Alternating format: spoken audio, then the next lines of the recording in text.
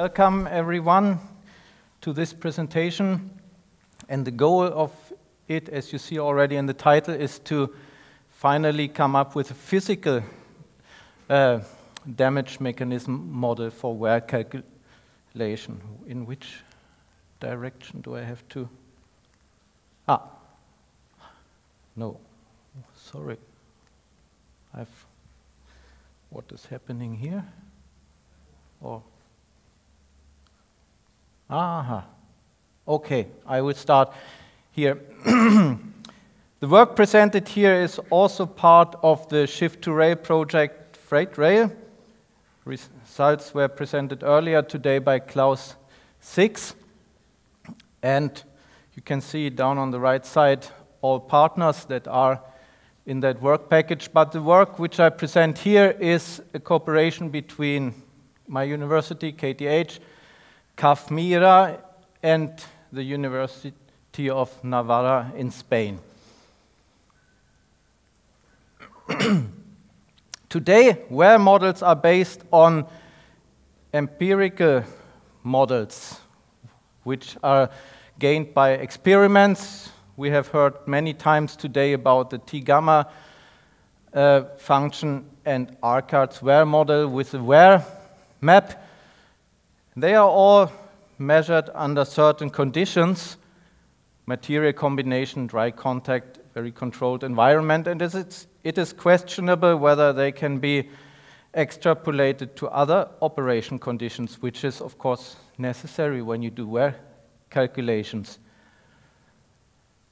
Another motivation is also that an earlier EU-funded project, Roll to Rail, which had the task to develop a so-called universal cost model for rail vehicles, mainly for railway running.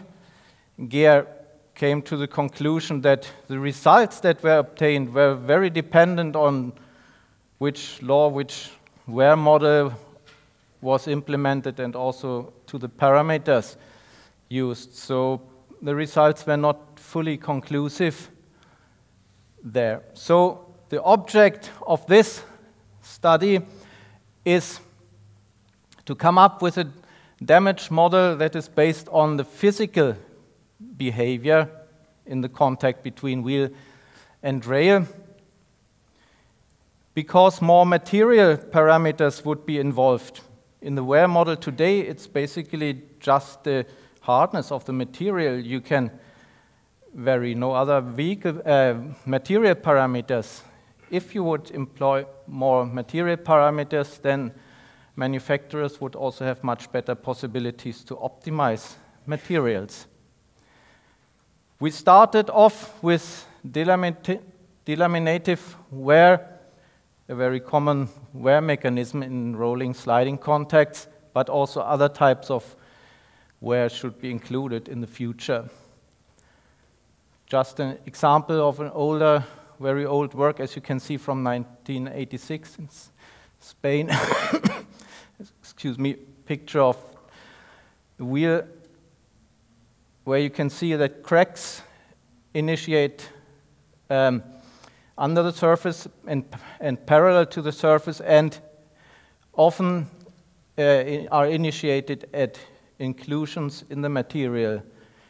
Here you can see some more recent measurements that were done in connection with this project with different normal forces, different sliding sp speeds, and a number of cycles up to 12,000. And what you can see also that the wear debris, so the material that is worn off, is in the shape of flakes. So to keep this in mind uh, with regard to what we want to do later on. So where is that in rolling sliding contact you create flakes that are worn off from the contact partners and they are initiated the flakes by subsurface initiated cracks and the crack nucleation is typically coincident with material non-homogeneities in the material. So to calc to come up with a physical model, you would like to calculate the crack initiation and the crack propagation phase. The problem is if you employ smooth contact, then the stresses you calculate are not high enough for crack propagation to occur if you do a finite element calculation, for example. So the conclusion was there is a need to uh, calculate stresses with non-smooth contact, where you take into account the roughness, the asperities in the contact partners.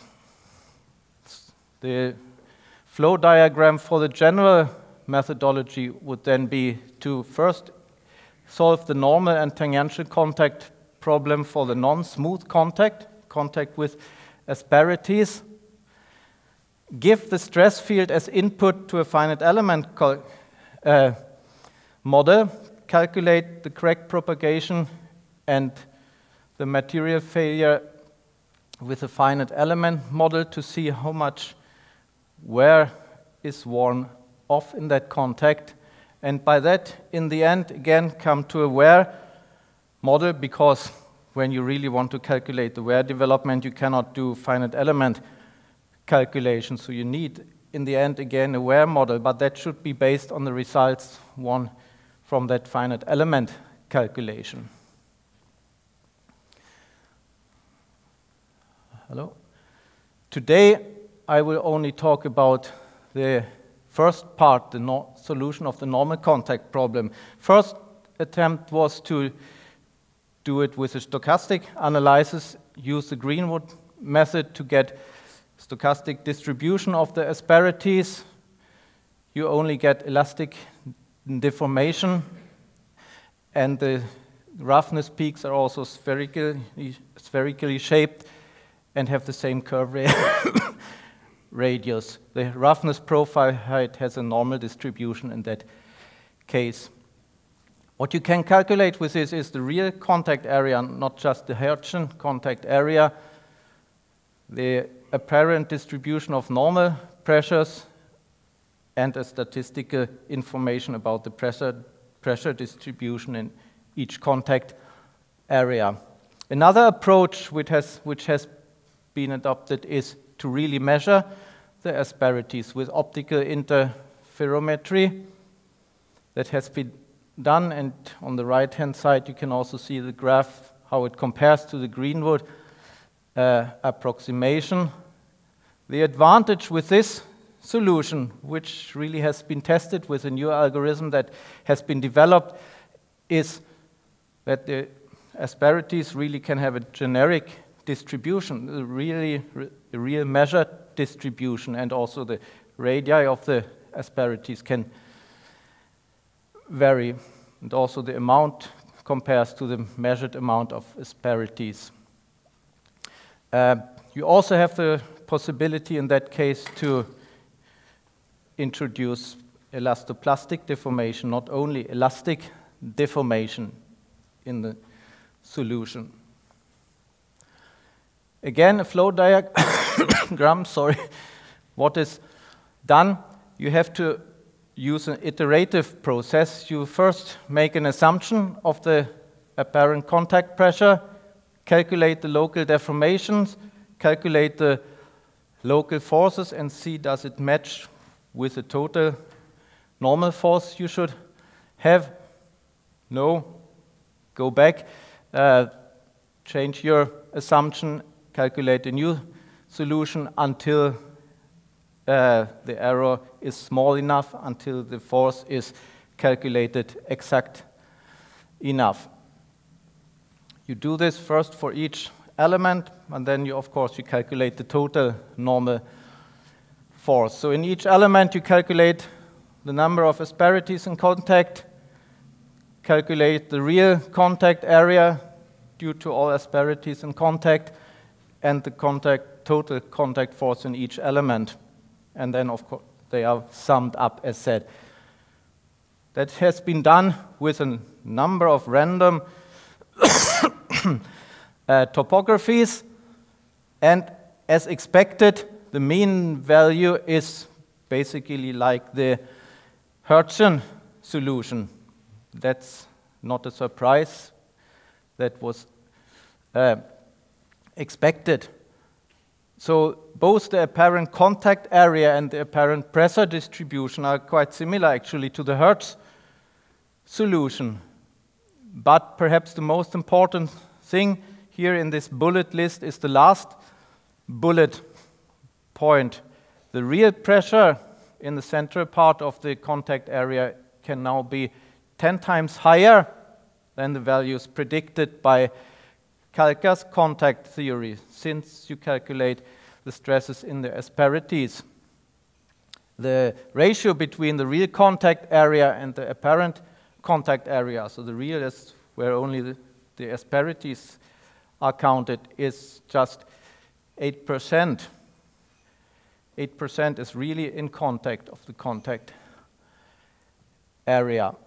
So, sorry to come back to that flow diagram.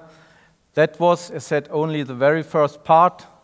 The next thing would be the solution of the tangential problem and then the finite element calculation. So what can we conclude up to now? The apparent contact area and apparent contact pressure for rough contact are similar to smooth contact. As said, that was expected. But due to a series of micro contacts on the asperities, the contact pressure locally is much higher, can be about 10 times higher than with the Hertz solution. It's actually possible to use measured roughness profiles to calculate this.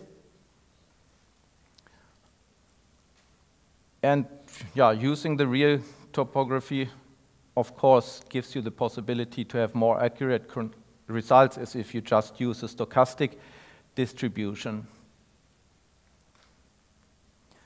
Further work, that was is just the beginning, as said, so this tangential contact problem, and then calculate the subsurface stresses, make a statistical cross-correlation of maximum subsurface stress peaks with material non-homogeneities, calculate the crack propagation and material breakup in FM, FEM, and then in the end use all this information to come up with a new wear model. Okay, okay. thank you. Thank you very much. Thank you very much.